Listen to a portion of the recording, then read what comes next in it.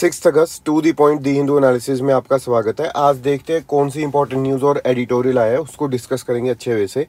अब सबसे पहले जो आपने क्वेश्चन का आंसर देना होता है, वो क्वेश्चन देखते हैं क्या आज का। ये इकोनॉमी का क्वेश्चन है। आई होप आप इसको आंसर देने आंसर दे सकोगे, क्योंकि इसका टॉपिक भी आज हमने डिस्कस करना है थोड़ा सा न्यूज़पेपर में जो आया हुआ है। देखिए, जो आरबीआई है, वो कहते हैं डिसाइड कि हमने अडॉप्ट करनी है एन एक्सपेंशनिस्ट मॉनिटरी पॉलिसी वो मॉनिटरी पॉलिसी एक्सपेंशन वाली करना चाह रहे हैं which of the following would it not to do ठीक है? वो क्या चीज़ नहीं करेंगे नीचे में से? Number one cut and optimize the S L R ठीक है, कट और जो कट है वो कर देंगे एस एल आर को। नंबर टू है, यहाँ पे increase the marginal standing facility rate number three cut the bank rate and repo rate इनमें से कौन सी चीज़ नहीं करेंगे? आपके ऑप्शन है ए बी सी डी ठीक है तो आपने कमेंट सेक्शन में बताना अच्छे वे से भाई। चलो नेक्स्ट न्यूज़ की बात करेंगे। जो नेक्स्ट न्यूज़ की नहीं मतलब फ़र्स्ट न्यूज़ की बात करेंगे। जी एस थ्री से रिलेटेड है, बहुत इंपॉर्टेंट है, ध्यान से सुनिएगा, आपको अच्छी लगेगी। न्यूज़ अच्छी लगेगी मतलब के अंडरस्टैंडिंग बन जाएगी। देखो आर बी रेट्स उसका मतलब क्या है? अब मैं, हमने कितनी बार डिस्कस कर लिया कि कहीं पे भी अगर हमें इन्फ्लेशन दिखाई देती है, पूरे वर्ल्ड में जो वहाँ के फेडरल बैंक है, जो वहाँ के बैंक्स हैं, वो क्या करते हैं वहाँ पे? जो पॉलिसी रेट्स हैं, उसको रेज कर देते हैं, उसको हाइक कर देते हैं ना? हाइक कर देते हैं उसको। हमने ये काफ़ी बार डिस्कस कर चुके हैं अब। तो यहाँ पे आरबीआई ने भी क्या किया? पॉलिसी रेट्स को यहाँ पे अब बढ़ा दिया है। तो मतलब क्या होगा? हमारी कंट्री में इन्फ्लेशन थी मतलब महँगाई हो रखी थी। अब पॉलिसी रेट को इंक्रीज कर दिया। मतलब कि जो रेपो रेट हो गया या फिर जितनी भी रेट्स हैं उसको इंक्रीज कर दिया। मैंने आपको बताया था कि अगर फिर भी आपको कभी मतलब आप कहीं से भी इकोनॉमी कर रहे हो, कहीं से भी नॉट फ्रॉम मी क्योंकि अभी हमने यूट्यूब पे तो इकोनॉमी एक अच्छे वे से नहीं डाली प्रॉपर तरीके से। तो मैं आपको ये बताना चाहता हूँ, अगर कभी भी इसमें कन्फ्यूज़न आ जाए और एग्ज़ाम में क्वेश्चन आता है प्रेलम्स में और आपको पूछते हैं कि इन्फ्लेशन बढ़ चुकी है, कम करनी है तो आपने बोलना है कि हर एक पॉलिसी रेट को इंक्रीज ही करना है भाई, ठीक है? चाहे वो कोई भी रेट है, उसको इंक्रीज कर दोगे तो जो इन्फ्लेशन है वो कंट्रोल में आ जाएगी। इतना क्लियर हो गया। अब सपोज़ के रेपो रेट को उन्होंने क्या कर दिया? यहाँ पे इंक्रीज कर दिया। मतलब कि रेपो रेट वो रेट है जहाँ पे जो बैंक्स हैं वो पैसा लेते हैं कहाँ से? आरबीआई से। मतलब जो आरबीआई है, उसको महँगा पैसा देगा और बैंक भी आगे महँगा देंगे। तो जो लोग हैं वो पैसा वो कम लेंगे। तो मार्केट में अगर कम पैसा आएगा और लोगों के हाथ में कम पैसा होगा तो इन्फ्लेशन है जो, वो कंट्रोल हो सकती है। ठीक है? तो ये वन ऑफ़ द पॉइंट है इन्फ्लेशन को कंट्रोल करने का। मैं बार बार यही बोलता होता हूँ कि कई बार हमें दिमाग में ये बैठ जाता है कि भाई, अगर इन्फ्लेशन को कंट्रोल करना है तो यही मेथड है। नहीं this is one of the method this is not the only method this is one of the method to control the inflation ठीक है? There are various other methods also like physical policy like administrative measures we are having a lot of methods but this is one of the method और ये एक अच्छा method है जिसको कि जो सेंट्रल बैंक है वो यूज़ करता है, ठीक है? और सेंट्रल बैंक इसको अब यूज़ कैसे करता है? वाया दी अब इसको ध्यान से सुनना भाई, ये आई होप आपको समझ में आगा होगा। अगर किसी को भी कोई डाउट हुआ कमेंट सेक्शन में पूछना है। अब इस चीज़ को कंडक्ट करने के लिए हमारे पास है क्या एमपीसी एमपीसी का मतलब क्या है? मॉनिटरी पॉलिसी कमेटी ठीक है? एमपीसी मॉनिटरी पॉलिसी कमेटी अब ये मॉनिटरी पॉलिसी कमेटी में टोटल सिक्स मेंबर होते हैं। थ्री फ्रॉम दी कहाँ से? आरबीआई से और तीन गवर्नमेंट ऑफ़ इंडिया के लोग होंगे। जो हमारे गवर्नर है आरबीआई के, वो एक्स ऑफिशियो चेयरमैन रहते हैं इनके, ठीक है? तो इनमें जो भी कुछ डिसाइड होता है सपोज़ यहाँ पे इन्होंने डिसाइड किया कि पॉलिसी रेट यहाँ पे इंक्रीज करनी है। तो कैसे डिसाइड हुआ होगा? वोटिंग से डिसाइड होता है ठीक है? वोटिंग से डिसाइड होता है और जो वोट पे, जो रेजोल्यूशन पे ज़्यादा वोट आए और वो जो चीज़ है वो आगे कंडक्ट हो जाती है। लेकिन जो गवर्नर है, वो चेयरमैन रहते हैं। उनके पास वोटिंग पावर नहीं है, लेकिन उनके पास वीटो पावर उनके पास वोटिंग पावर नहीं है, लेकिन उनके पास पावर है किस चीज़ की? कि अगर कहीं पे टाई हो जाता है ना? अगर कहीं पे टाई हो गया सपोज़ करके चलते हैं हम कि किसी जगह पे टाई हो गया, कि तीन लोगों ने एक चीज़ बोल दी, तीन लोगों ने दूसरी चीज़ बोल दी तो कोई रेजोल्यूशन नहीं बन पा रहा, कोई चीज़ नहीं यहाँ पे बन पा रही। तो उस केस में यू हैव टू रिमेंबर कि टाई को तोड़ने के लिए इनके पास कौन सी वोट है? कास्टिंग वोट है, ठीक है? सो गवर्नर मतलब जो चेयरमैन है he is having the power of casting vote not the veto power और not the normal voting power right? तो ये चीज़ आपने एक अच्छे वे से याद रखनी है यहाँ पे भूलनी नहीं है। ठीक है आई होप आपको ये चीज़ समझ में आ गई होगी। इसके रिगार्डिंग आपसे मैं एक और क्वेश्चन पूछता हूँ जो बच्चों ने अभी आ, मेरे से इकोनॉमी की है ठीक है रिसेंट टाइम में कुछ दो तीन महीने पीछे या फिर अभी जो रिसेंट बैच खत्म हुआ है तो डिफरेंट डिफरेंट इंस्टीट्यूट्स में। तो मैं आपसे ये पूछना चाहता हूँ कि मैंने आपको बताया था जो एमपीसी है वो किसी कमेटी की रिकमेंडेशन थे आई थी वो कमेटी का नाम क्या है? ठीक है? तो कमेटी का नाम आपने कमेंट सेक्शन में बताना है। कमेंट सेक्शन में यार ज़रूर बताया करो, उसमें ना इंगेजमेंट इंक्रीज होती है। मतलब सच में बताऊँ तो इंगेजमेंट बहुत इंक्रीज होती है उससे। और जो वीडियो है वो काफ़ी मतलब आप मान के चलो काफ़ी दूर तक चली जाती है। अदरवाइज़ तो वही अपना एक, पता क्या है, इस चीज़ में ना हिंदू एनालिसिस में कंपटीशन बहुत ज़्यादा है। बहुत ज़्यादा पुराने लोग हैं जो सात सात आठ आठ साल से वो एनालिसिस कर रहे हैं। चाहे वो सही है, गलत है, बहुत बहुत बढ़िया है या फिर बहुत बढ़िया नहीं है, वो अलग चीज़ है, लेकिन वो अभी एट पार है ना? वो एट पार तो क्या है, वो बहुत ऊपर है। तो हमें एट पार भी अगर आना है तो कमेंट कमेंट्स किया कीजिए और शेयर कीजिए अब नंबर टू जो यहाँ पे हमारी न्यूज़ आ रही है, ये हम काफ़ी दिनों से न्यूज़ डिस्कस कर रहे हैं कि भाई मैंने आपको पहले बताया चाइना की दुखती रह गया भाई ताइवान। ताइवान का नाम भी लोगे तो चाइना को लगेगा कि भाई ये चीज़ क्यों बोल दी? ठीक है? तो चाइना तो बहुत ही ज़्यादा मतलब एक घबराहट फील करता है, उसको प्रॉब्लम क्रिएट हो जाती है ताइवान के नाम से। अभी यहाँ पे तो विज़िट हो गई, ठीक है? विज़िट के बाद में अब उसने क्या किया? अभी हम सस्पेंड कर दी, उसने यूएस के साथ में जो भी बातें चल रही थी, जो भी क्राइटेरिया चल रहे थे, जो भी टॉक्स चल रही थी, वो भी बंद कर दी, पहली चीज़। नंबर टू जो ताइवान है, उसके, उसकी तरफ़ तो थर्टीन चाइनीज़ नेवल वेसल्स लगा दिए sixty eight P L aircraft crossing the median line ठीक है? तो ताइवान ने बोला दिस इज़ हाईली प्रोवोकेटिव ठीक है तो ताइवान को तो उसने इस तरह से किया यूएसए के साथ में जो भी बातें चल रही थी वो बंद कर दी। तो चाइना तो बिल्कुल ही यहाँ पे क्या हो चुका है बुखला सा चुका है पागल सा हो चुका है थोड़ा सा। ठीक है, चलो नेक्स्ट ये चीज़ मैं क्यों बता रहा हूँ, देखो अब इसके पीछे का बैकग्राउंड क्या है कि चाइना इतना ज़्यादा प्रॉब्लम में क्यों आ गया? ये चीज़ आपने समझनी है, ये चीज़ आपने याद रखनी है, ये चीज़ आपने देखनी है कि एक बार प्रीवियस ईयर जो वीडियोस है, कल वाली नहीं, उससे पहले वाली जो दो तीन दिनों की वीडियोस है, वो आप चेक कर सकते हो, उससे आपको जो चीज़ें है वो क्लियर होनी स्टार्ट हो जाएँगी कि इस तरह से जो चाइना है वो रिएक्ट क्यों कर रहा है। अब इसी के साथ का एक बहुत बहुत ही अच्छा एडिटोरियल आया हुआ है कि इंडिया को क्या सीखना चाहिए ताइवान से? किस तरह से हैंडल करना चाहिए चाइना को? बहुत अच्छा है, उसके पॉइंट्स हम नोट करेंगे। ठीक है, जहाँ पे पॉइंट्स आपको नोट करने के लिए मैं बोलता हूँ, आप एक बार कर लिया करो। अब नेक्स्ट चीज़ की बात करते हैं यहाँ पे, जो नेक्स्ट न्यूज़ है India witnessing death of democracy यहाँ पे प्रोटेस्ट किया कल कांग्रेस, जो मतलब ऑपोजिशन है, उसने प्रोटेस्ट किया। और प्रोटेस्ट में उन्होंने बोला कि भाई जो डेमोक्रेसी है, वो आप उसको मारते जा जा रहे हो। ठीक है? और ये जो प्रोटेस्ट हुआ था it was against the price rise it was against the unemployment it is it was against the GST so यहाँ पे प्राइस राइज ये बिल्कुल सही है। अगर इसके खिलाफ आप प्रोटेस्ट कर रहे हो दिस इज़ ट्रू ठीक है? इस पे वो कोई दो राय ही नहीं है कि भाई ये पॉलिटिकल पार्टी वाला सीन हो गया, ये हो गया। भाई प्राइस राइज आपके सामने महँगाई हो चुकी है तो अगर उसके लिए प्रोटेस्ट किया जा रहा है, आप गैस सिलेंडर की बात कर ले, चाहे किसी भी चीज़ की बात कर लो, आप चेक करोगे तो आपको पता चलेगा कि भाई कितने प्राइस राइज हुए हैं। हाँ whether you belong to you can belong to any ideology you can belong to any party वो आपका एक स्टांस रहता है। लेकिन जो सच्चाई है, वो सच्चाई है भाई। नंबर टू यहाँ पे unemployment unemployment is on the peak ठीक है हाईएस्ट अनएम्प्लॉयमेंट हो चुकी है, ये डेटाज हैं, ऐसे मतलब वो नहीं है कि भी हम हवा में यहाँ पे बोल रहे बंदा। फिर लास्ट में जीएसटी भाई इस जीएसटी का ना, मैं अगर मतलब आप मान के चलो कि गवर्नमेंट को खुद को नहीं समझ में आया कि भाई जीएसटी का बन क्या रहा है, चल क्या रहा है प्रोग्राम क्या चल रहा है। क्योंकि जो स्लैब्स है वो मल्टीपल कर दी हुई है, ठीक है। तो वन नेशन वन टैक्स का जो नारा था या फिर वन टैक्स वन नेशन का जो नारा था, वो तो कहीं पे पूरा होता नहीं दिखाई दे रहा। बहुत ज़्यादा। पाँच स्लैब्स हैं मतलब पाँच स्लैब्स मान के चलो कि ज़ीरो परसेंट वाली भी है, पाँच वाली भी है, बारह, अठारह, अट्ठाईस, इस तरह से मतलब ठीक है, चलो, जो भी चल रहा है। तो उसके अभी रिसेंटली क्या किया जीएसटी को और इम्पोज कर दिया उस पर कर्ड पे, दही पे जो एसेंशियल चीज़ें हैं, वो खाने वाली हैं भाई, हर एक बंदा खाता है उसको। फिर आप बोल रहे हो कि ये पुअर पे बर्डन नहीं डालेगा। खाते नहीं। मतलब आप मान सोच क्या रहे हो कि भाई जो गरीब बंदा है, वो दही नहीं खा रहा, कहते जी, वो दूध नहीं पी रहा, क्या बात है?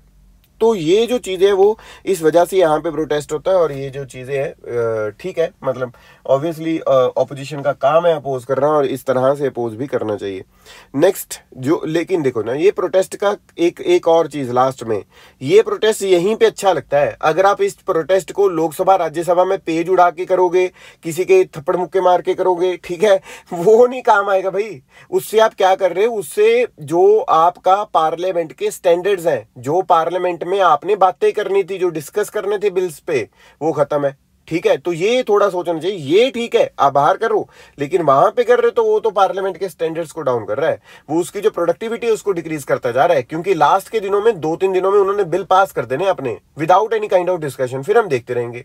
पहले भाई वहाँ पर अपना काम करो, वहाँ पर भी अपोज करो जब आपका टाइम मिला हुआ है, लेकिन यहाँ पे ये वाली चीज़ तो सही है। नेक्स्ट चीज़ की बात करते हैं। जीएस टू की यहाँ पे बात है और जीएस टू में अगर हम यहाँ पे आ, मान के चलें तो बॉडली ऑटोनॉमी की यहाँ पे बात की जा रही है। सुप्रीम कोर्ट ने बोला है यहाँ पे बॉडली ऑटोनॉमी के बारे में। देखो यहाँ पे ना 51 ईयर ओल्ड एक लॉ चल रहा था कि अगर कोई अनमेरिड विमेन है वो अप टू 24 वीक ओल्ड वाली जो प्रेगनेंसी है उसको टर्मिनेट नहीं करवा सकती। ठीक है? तो यहाँ पे सुप्रीम कोर्ट ने बोला this is violation against the right to bodily autonomy and dignity so अगर कोई मैरिड वीमेन को आप अलाउ अलाउ कर सकते हो तो वाई नॉट अनमेरिड वीमेन और मैरिड वीमेन को अबोर्ट करवाना ज़्यादा इजी है, क्योंकि उसके साथ फैमिली खड़ी होगी ठीक है? उसके साथ फैमिली है, वो फैमिली ऑब्वियसली कोई ऐसा स्टांस रहा होगा, ऐसा चांस रहा होगा, जिसकी वजह से वो वोट करवाना चाहते हैं। But not in the case of unmarried women ठीक है? सो अनमेरिड वीमेन के लिए भी ये जो चीज़ है, वो ओपन होनी चाहिए। वो कहते कि भाई, अगर मैरिड को है तो अनमेरिड को क्यों नहीं है? तो ये चीज़ यहाँ पे बताई गई और सुप्रीम कोर्ट ने ये वाली जो चीज़ है, यहाँ पे आई थिंक कि इसको खत्म करने की बात की है कि भाई आप इस चीज़ को बॉडली ऑटोनॉमी और डिग्निटी के बीच में लेकर आओ और अनमेरिड वीमेन को भी। पहले मैं आपको बता दूँ ट्वेंटी वीक्स तक तो है, ठीक है? Twenty weeks to twenty four weeks तक हो सकता है, लेकिन उसके लिए प्रैक्टिशनर्स ये वो की सलाह लेनी पड़ती है। लेकिन अभी up to twenty four weeks पूरा फ्लैट कर दिया जाएगा ठीक है? सो so, ये एक न्यूज़ थी। और अगर आपने इसके लिए ना कुछ एक्स्ट्रा पढ़ना है ठीक है? देखो कई बार होता है कि मैं बैकग्राउंड प्रॉपर बता देता हूँ। अगर कुछ एक्स्ट्रा पढ़ना है उसमें टाइम लगेगा तो आपने एमटीपी एक्ट पढ़ लेना है ठीक है? Medical termination of pregnancy act अगर कुछ नहीं समझ में आएगा तो कमेंट सेक्शन में पूछ लेना। नेक्स्ट नेक्स्ट नेक्स्ट न्यूज़ की बात करेंगे। जो नेक्स्ट न्यूज़ है वो हमारा एडिटोरियल है ठीक है? और एडिटोरियल है रिलेटेड मैंने आपको पहले बताया this is related to now three countries India China USA ठीक है? तो India China USA as well as Taiwan not USA USA को हम निकाल देते हैं यहाँ पे आईसीटी की बात करेंगे। आईसीटी में किस किस की बात करेंगे? इंडिया चाइना और ताइवान की।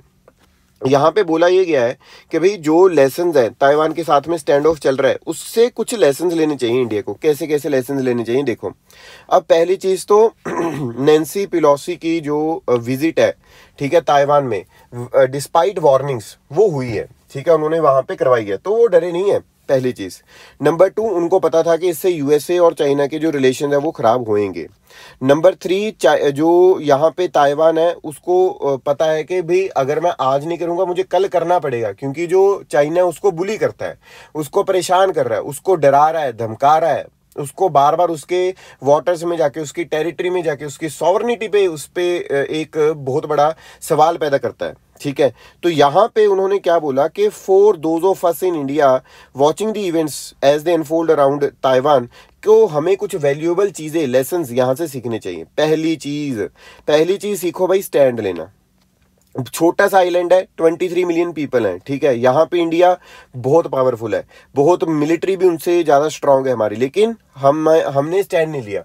हमारे वहाँ पे जो जवान है, वो शहीद हो रहे हैं और हम वहाँ पे उनके साथ मीटिंग्स कर रहे हैं। ठीक ठीक है तो ये चीज़ यहाँ पे गलत जो है, वो नज़र आती है। लेकिन यहाँ पे उन्होंने एक स्टैंड लिया और स्टैंड लेने का सबसे पहला पॉइंट यहाँ पे उन्होंने बताया।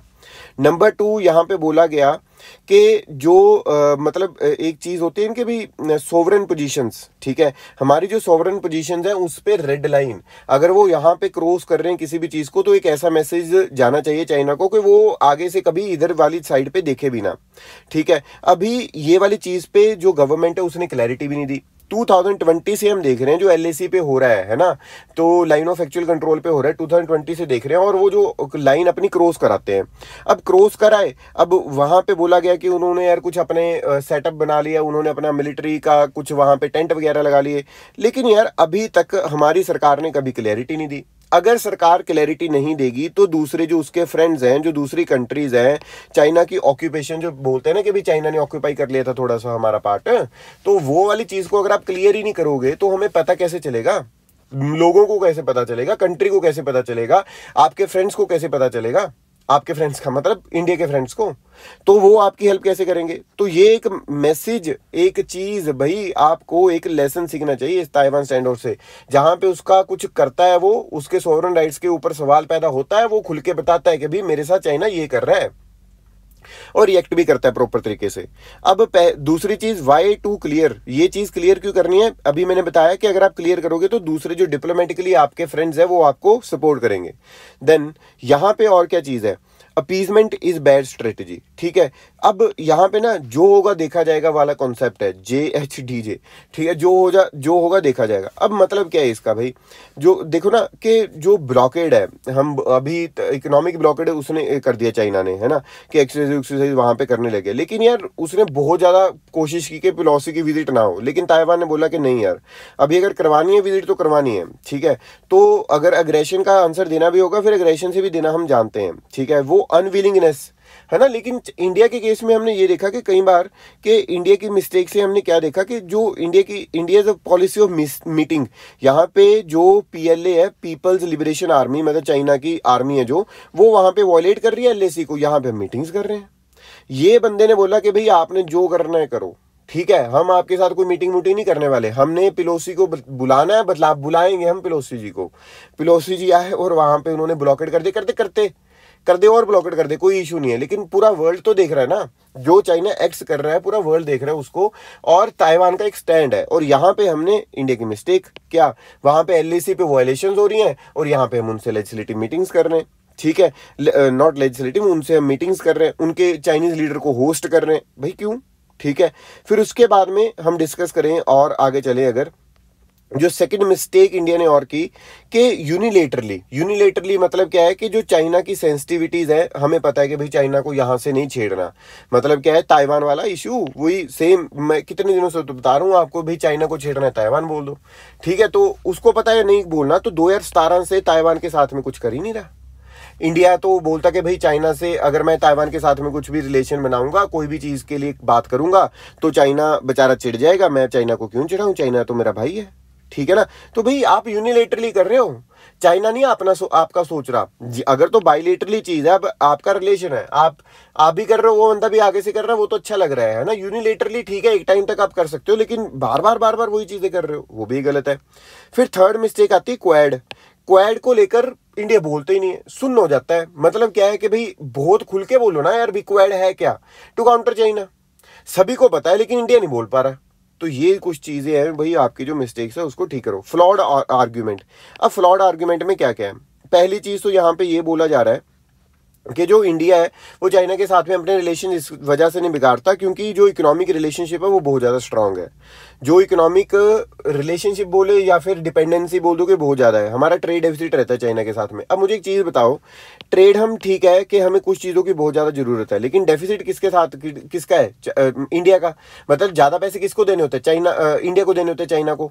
तो इसका मतलब क्या है? चाइना को बहुत ज़्यादा नुकसान होने वाला है अगर इंडिया इस तरह की चीज़ करेगा। ठीक है? इंडिया को भी होगा नुकसान के केमिकल्स नहीं आ पाएँगे। बहुत सारी ऐसी चीज़ें जो वहीं से आती है। रेयर अर्थ मिनरल्स हो गए सेमी चिप्स होगी बहुत सारी चीज़ें लेकिन फिर भी यार कुछ तो स्टैंड लेना पड़ेगा। अगर हम एग्जांपल लेना ताइवान की, ताइवान लार्जेस्ट ट्रेडिंग पार्टनर है and China has an annual trade deficit of around dollar eighty billion to dollar one thirty billion with the Taiwan ठीक है, फिर उसके बाद भी इन्वेस्टमेंट बहुत ज़्यादा है, लेकिन फिर भी एक स्टैंड लिया। सो लास्टली यहाँ पे चीज़ बोली जो जा रही है कि India for sure should do business with China but not on the China's own terms अपनी टर्म्स पे बिज़नेस करो, उसकी टर्म्स पे क्यों बिज़नेस करना है? ठीक है? तो आई होप ये जो चीज़ है, आपको समझ में आया होगा एडिटोरियल कि क्या क्या लेसन क्या क्या चीज़ें सीखनी चाहिए इंडिया को। ठीक है? चलो। नेक्स्ट चीज़ की बात करेंगे।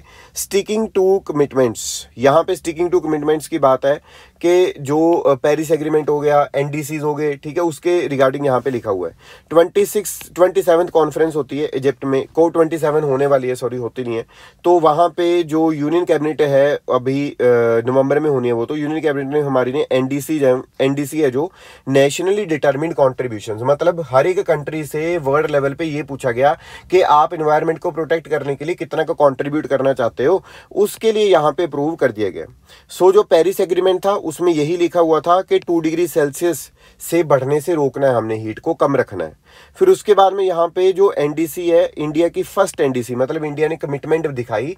इंडिया ने बोला कि इतना इतना मैं कुछ कर दूँगा, इतनी जो चीज़ें हैं, ये कमिटमेंट कहाँ पे दिखाई थी? पेरिस एग्रीमेंट में दिखाई कि मैं भी एनडीसी रिलीज़ कर रहा हूँ, कि और ये जो एनडीसीज है, इसको मैं अचीव करने की कोशिश करूँगा, मैं इन्वायरमेंट को प्रोटेक्ट करने की बात करूँगा। ये नेशनली डिटर्मिंड है मतलब अपनी खुद की डिटर्मिनेशन है, आपके ऊपर थोपे नहीं जा रहे, आपने खुद बता बताने हैं। हमारा उसमें पहला टारगेट था कि जो जीडीपी की एमिशन इंटेंसिटी है वो 33 टू 35 परसेंट बाई टू में कम करूँगा। अब इसकी एक एग्जांपल देता हूँ आई होप आपको समझ में आएगी। इन्वायरमेंट की एग्जांपल है। सपोज़ कर लो आपकी जीडीपी है आज की हंड्रेड जीडीपी और इस हंड्रेड जीडीपी को बनाने के लिए आपको कुछ ना कुछ तो एमिशन करना पड़ता है ना। वो सपोज़ कर लो आप हंड्रेड ही एमिशन करते हो कार्बन एमिशन हंड्रेड करते हो। आप वो कहते कि आप जीडीपी चाहे हंड्रेड ही रखो, चाहे आप इससे ज़्यादा लेकर जाओ, लेकिन जो एमिशन है वो thirty three to thirty five percent को हम क्या कर देंगे, कम कर देंगे मतलब कुछ सिक्सटी या फिर सिक्सटी फाइव परसेंट क्या रह जाएँगे एमिशन रह जाएँगे। इतना क्लियर हुआ है? Number one number two number two जो रीनेबल एनर्जी की इंस्टॉलेशन है, वो फोर्टी परसेंट रीनेबल एनर्जी से हम करेंगे, ठीक है, जो भी एनर्जी हमारे पास आएगी। तीसरी चीज़ carbon sink of 2.5 to three billion tonne of CO two equivalent through forest and tree cover by 2030 ठीक है, फिर उसके बाद में जो इंडिया है, वो उसका जो हाई नेट एमिशन है, वो हाई है। लेकिन due to due to high population जो पर कैपिटा एमिशन है, वो कम हो जाता है। फिर ग्लासगो में जाके हमने ये तीन कमिटमेंट्स तो हमारी थी, लेकिन दो कमिटमेंट्स और नहीं हमने की, और उसी से हमारा क्या बन गया? पंच अमृत बन गया। ठीक है, ग्लासगो में अभी मीटिंग हुआ था, और अभी आपने बताया भी कि hosted by home hosted by UK ठीक है सो पंच अमृत यहाँ पे बना, और पंच अमृत में क्या किया? Which included India increasing its non fossil energy capacity to fifty five hundred gigawatt by two thousand thirty और net zero by two thousand seventy so जो इंडिया है उसने अपनी जो इंटेंशन है, वो बहुत बढ़िया वे से एक्सप्रेस की है यहाँ पे। जो पोल्यूशन है, उसको कम करने की यहाँ पे बात की है, जो डेवलपमेंट है, वो करने की यहाँ पे बात की है, और बैलेंसिंग एनर्जी यूज़ करने की यहाँ पे बात की है। ठीक है? आई होप आपको ये आर्टिकल और ये एडिटोरियल समझ में आया होगा। नेक्स्ट न्यूज़ की बात करते हैं extremely important related to GS two तो क्या हो रहा था कि जो एम हैं एम के ऊपर भी इन्वेस्टिगेशन चल रही थी। तो यहाँ पे उन्होंने बोला कि एम को तो पकड़ नहीं सकते, उनकी तो प्रिविलेज है। तो उन्होंने यहाँ पे जो वेंकैया नायडू जी हैं, उन्होंने वो कहते कि मैं चलो पढ़ लूँ प्रिविलेजेस है क्या आपकी? उन्होंने बोला, जो आपकी प्रिविलेजेस है ना, वो लिखी हुई है कहाँ पे? कहते, हमें नहीं पता। कहते, आप बता दो। आर्टिकल वन में लिखी हुई है। आपको भी पता होना चाहिए था ये। ठीक है, अगर आपको पता है तो बहुत अच्छी बात है, नहीं पता तो बुरी बात नहीं, लेकिन अभी याद रखना। आर्टिकल 105 ऑफ़ द कॉन्स्टिट्यूशन है ना जो, वो बोलता है कि एमपीज ना कुछ प्रिविलेजेस एंजॉय करते हैं। जैसे कि सपोज़ के 40 डेज़ बिफोर मतलब सेशन होने वाला है, ठीक है? नॉर्मल सेशन कोई होने वाला है, उसके 40 दिन पहले आप उन बंदों को नहीं पकड़ सकते, ठीक है? सेशन के दौरान नहीं पकड़ सकते मतलब कोई भी इन्वेस्टिगेशन एजेंसी और 40 डेज़ आफ्टर नहीं पकड़ सकते। उसका रीजन क्या है कि आप ना पार्लियामेंट की जो सीटिंग्स है, उसको नहीं तो खराब कर दोगे, उनका काम खराब कर दोगे। लेकिन वेंकैया नायडू जी ने बोला कि भाई, आपको नहीं पकड़ा जा सकता सिविल केस में। क्रिमिनल केस में आपको पकड़ा जा सकता है। सो डो नॉट वरी वो आपको क्रिमिनल केस में पकड़ने के लिए आ रहे हैं ठीक है? तो याद रखना है ये चीज़ को। 105 40 डेज़ वाली सारी चीज़ याद रखोगे और सिविल केस है क्रिमिनल केस नहीं है। सो so, ये जो प्रिविलेज मिलती है वो सिविल केस में मिलती है not in the criminal case next news की बात करते हैं। ये वही है, चीज़ US would not let China isolate Taiwan के वो ये नहीं है कि भाई ताइवान को आइसोलेट होने दे देगा, ठीक है? फिर उसके बाद में जो इसराइल है, उसने स्ट्राइक कर दिया गाजा पे। दस लोग वहाँ पे जो है, वो मर चुके हैं, ठीक है? हम यहाँ पे मैप दिखाता हूँ मैं आपको कि कौन सा इसराइल का पार्ट है, कौन सी क्या वाली चीज़ है। अब यहाँ पे this is this is Israel only ठीक है ये वाला जो पार्ट हो जाता है this part is West Bank इसका नाम वेस्ट बैंक क्यों है क्योंकि ये यहाँ से एक रिवर जाती है जिसका नाम है जॉर्डन रिवर यहाँ पे आपको डेड सी देखने को मिलता है ठीक है सो जॉर्डन रिवर की वेस्ट में तो इसका नाम क्या है वेस्ट बैंक वेस्ट बैंक में जो लोग हैं वो पैलेस्टाइन लोग रहते हैं ये ज़्यादा सारा एरिया हो गया इसराइल वाला और कुछ पैलेस्टाइन के लोग रहते हैं गाजा स्ट्रिप में और नॉट नॉट दी सिटीजन बहुत ज़्यादा जो लोग हैं वो यहाँ पे जो मिलिटेंट लोग हैं, वो यहाँ पे रहते हैं। वो यहाँ से अटैक करते हैं इसराइल के ऊपर, फिर इसराइल अटैक करता है यहाँ पे और इस चीज़ को हम क्या बोलते हैं? गाजा स्ट्रिप बोलते हैं। ठीक है, इतना समझ में आ गया? So this is West Bank this is Israel part यहाँ पे पैलेस्टाइन रहता है, यहाँ पे पैलेस्टाइन रहता है गाजा स्ट्रिप में। This is Tel Tel Aviv ठीक है? और ये वाला जो एरिया है, ये जो इसराइल ने कैप्चर किया था किससे? सीरिया से। This this area is known as Golan Heights ठीक है? तो ये चीज़ आपने याद रखनी this is Mediterranean sea this is Lebanon Syria Jordan Jordan और ये आ गया हमारा इजिप्ट ठीक है, हमारा नहीं मतलब ये आ गया इजिप्ट क्लियर बात? तो ये मैप आपने याद रखना है लोकेशन के जो क्वेश्चन है, बड़े इंपॉर्टेंट हो जाते हैं। नेक्स्ट चीज़ बात करेंगे। नेक्स्ट जो न्यूज़ आज हमने डिस्कस करनी है, वो है, ये हमने जो अभी डिस्कस ही किया कि भाई आरबी अगर रेट्स को हाइक करती है तो उसका इम्पैक्ट क्या पड़ेगा? ऑब्वियसली कम पैसे मार्केट में आएँगे, कम पैसे मार्केट में आएँगे तो इन्फ्लेशन कंट्रोल हो सकती है। ये एक बड़ा वो हो सकता है। दूसरा, जो लोन्स है, वो महँगे हो जाएँगे, ठीक है? अगर लोन्स महँगे हो गए तो आज की डेट में इस किसी बंदे के पास, बहुत, ठीक है, बहुत बहुत लोग होंगे हमारी कंट्री में इनक्वालिटी बहुत ज़्यादा है, जिसकी वजह से हम ये बोल सकते हैं कि कई लोगों के पास बहुत ज़्यादा पैसा है, कई लोगों के पास इतना ज़्यादा पैसा नहीं है। जो मिडिल क्लास फैमिलीज़ है, उनको लोन लेना ही पड़ता है अपना घर खरीदने के लिए। तो वो जो घर है खरीदने के लिए लोन लेना पड़ेगा। अगर लोन महँगा है तो वो कम लोन लेंगे और कम घर खरीदेंगे। जो होम की सेल्स है, वो उस पर थोड़ा सा जो हिट है, वो हो सकती है। ठीक है जी? तो आज में, आज के न्यूज़पेपर में तो इतना ही है राजे। तो अगली अपनी वीडियो को, इसको पहले शेयर करना लाइक करना और कमेंट करना। और अगली वीडियो कल डालते हैं फिर। Till the time revise your notes take care bye bye